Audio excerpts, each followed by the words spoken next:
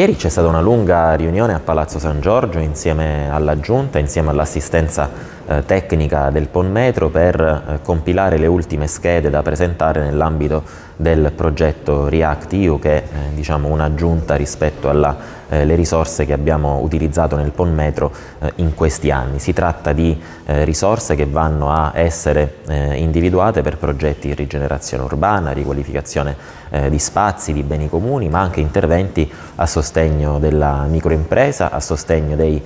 cantieri di prossimità, a sostegno insomma di tutte quelle azioni che vanno a rigenerare anche sotto il profilo sociale e economico i quartieri eh, della nostra città. Le proposte sono state eh, compilate per tempo, sono state inviate all'Agenzia per, per la coesione, ringrazio l'assistenza tecnica del, eh, del Ponmetro, ringrazio Simona Mauro, ringrazio i funzionari del nostro comune, da eh, Tommaso Cotronei al dirigente Beatino, ringrazio tutti, i, ehm, eh, tutti gli assessori, tutti i consiglieri che hanno contribuito a inserire progetti che davvero vanno in linea anche con quella idea di eh, recupero del rapporto con, eh, con, il mare che deve avere la nostra città. Non sveliamo nulla su, questi, su quali sono i progetti inseriti perché avremo la eh, risposta se sono stati inseriti o meno fra 60 giorni quando l'Agenzia eh, della Coesione chiuderà il quadro delle proposte da inviare all'Unione Europea.